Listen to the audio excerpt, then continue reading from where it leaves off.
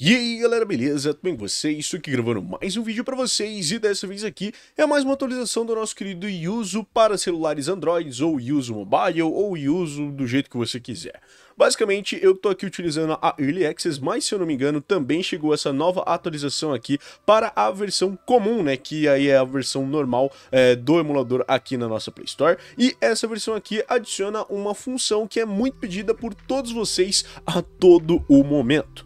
Bom, tem várias pessoas aí que não tem PC em casa e que não quer ficar baixando toda hora esses tipos de coisas, e já tem aí vários tipos de atualizações para os seus jogos de Switch dentro do seu celular. Mas geralmente você quer instalar alguma DLC ou quer instalar alguma atualização que melhora a performance, e não tem como você fazer isso nem no Skyline e nem no EGNS. Agora no Yuzu finalmente chegou essa nova atualização em que ele traz a opção de você instalar Game Updates ou então as DLCs dentro do seu celular. E se a gente clica aqui em Play, né, justamente, eu vou ter aqui dois exemplos excelentes, né, que são aqui o nosso Pokémon Scarlet e o Pokémon Violet. Para quem não sabe, eles foram lançados completamente quebrados e na versão 1.0, que é justamente a que eu tenho aqui e que está rodando, ele simplesmente não vai funcionar, tanto no Yuzu quanto em outras coisas, porque ele é muito lagado. E se a gente vier aqui nas nossas configurações, aqui a gente vai ter a nossa Advanced Settings, onde a gente vai ter aqui, pelo menos na opção dos gráficos, uma nova opção do Reactive Flushing, que vai aumentar aí a precisão de renderização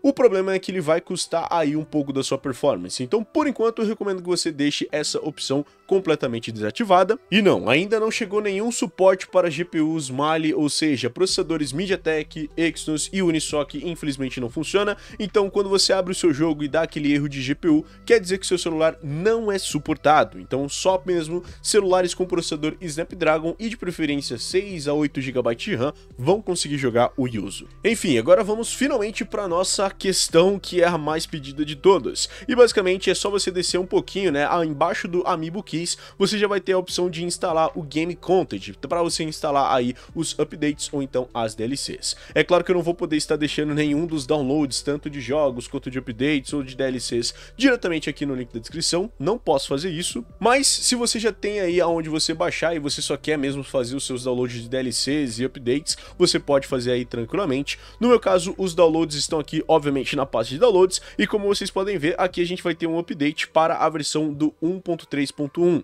Lembrando que a minha versão tanto do Pokémon Scarlet quanto do Violet é na versão 1.0. E aí quando por, quando, por exemplo, a gente quiser instalar ou então atualizar o nosso querido jogo, é só você clicar na sua pastinha e clicar no arquivo que tem dentro dela.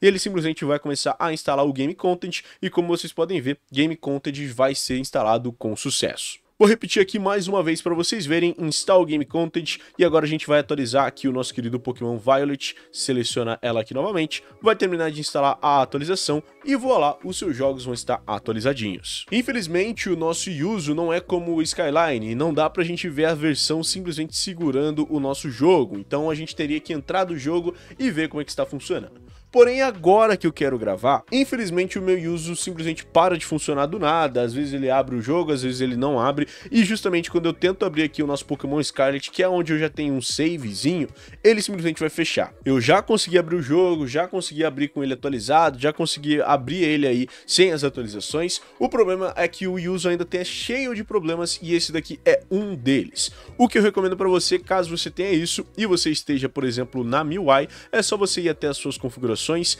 vir aqui nas suas configurações adicionais e desligar aqui a sua extensão de memória e é só você dar aqui um reinício e aguardar ele reiniciar. E lembrando que mesmo assim ainda tem chances do seu jogo não abrir, então a gente vai ver aqui se o meu jogo vai conseguir abrir ou se o user vai crashar e ele continuou crashando, então infelizmente não tem muito que a gente fazer quanto a esse jogo. O mais aqui pelo menos a gente já consegue jogar aí os nossos jogos com atualizações ou DLCs.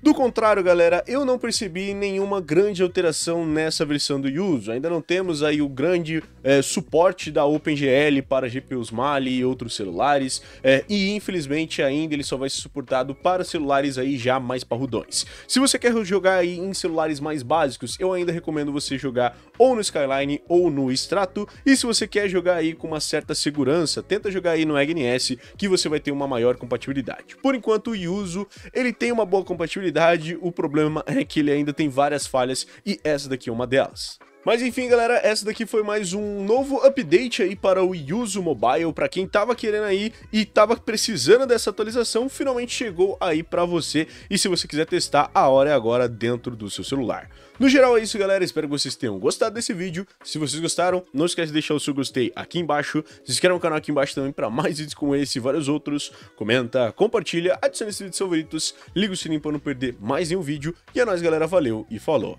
tchau, tchau.